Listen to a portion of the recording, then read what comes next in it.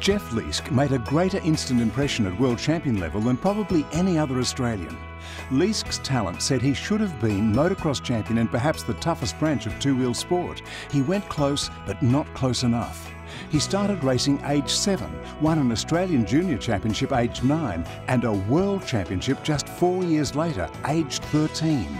Four more years and still just 17, he won the 500cc Australian Championship. After some years in the US, in 1989 the freckle-faced Aussie is in the Premier Motocross GP class. Leading the first race in front of an amazed crowd and shell-shocked rivals, he runs out of fuel.